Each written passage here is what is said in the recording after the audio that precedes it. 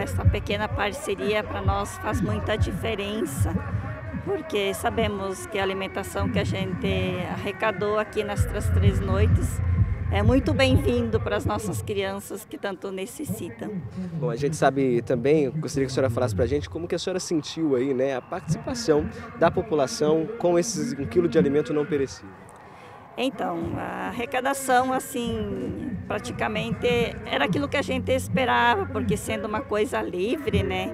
Então, assim, a gente já sabia que nem todos iam trazer um quilo de alimento.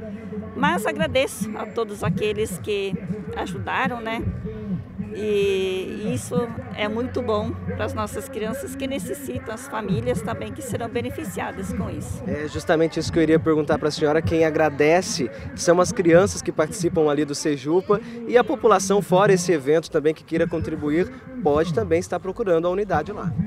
Com certeza, é, tudo aquilo que o Sejupa recebe né? Sabemos que é para o bem dos nossos pequenos, especialmente daqueles que estão ali conosco no dia a dia. Mas assim, agradeço de coração a todos que ajudaram e o Sejupa está aberto. Ah, acolhemos a todos aqueles que de uma ou de outra forma querem ajudar ele.